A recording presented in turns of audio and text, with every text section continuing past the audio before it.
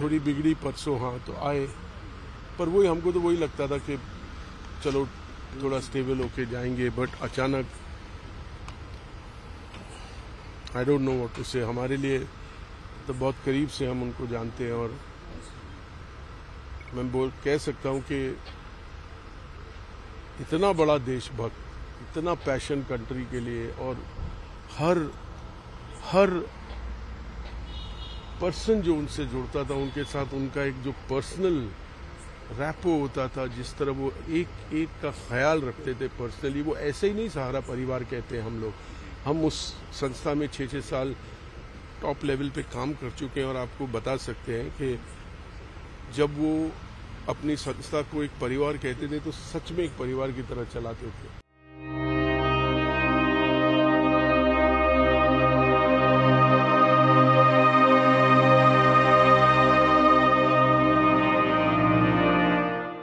आज का जो दिन है ये बहुत दुखद दिन है क्योंकि भारतीय उद्योग जगत में जिस तरह से उन्होंने अपनी मेहनत के बल पर बहुत निष्ठा के बल पर नीचे से बिल्कुल स्क्रैच से ज़ीरो से उन्होंने अपनी यात्रा शुरू की थी गोरखपुर से। और इतने हाइट पर वो गए आ, मैं कहूँगा कि हाईली स्पिरिचुअल पर्सन थे वो बहुत अधिक आध्यात्मिक थे बहुत अधिक राष्ट्रवादी थे ये बात अलग है कि उतार चढ़ाव हर व्यक्ति की ज़िंदगी में आता है। और मैं उन चुनिंदा भाग्यशालियों में से हूँ।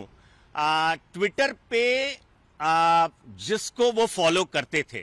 ट्विटर पे वैसे तो उनके एक्स अब नाम है कंपनी का।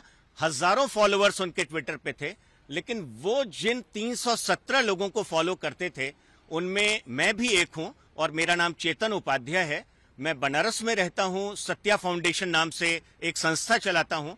जब वो तिहाड़ जेल में थे तब भी मैं उनसे मिलने के लिए गया था। और आ, मैं इतना कह सकता हूँ कि आ, ये जो उनका निधन है बहुत अप्रत्याशित है। और मेरे लिए व्यक्तिगत तौर पर आ, मतलब जैसे मुझे लगता है कि मैंने अपना अभिभावक खो दिया है मैंने अपना गार्जियन खो दिया है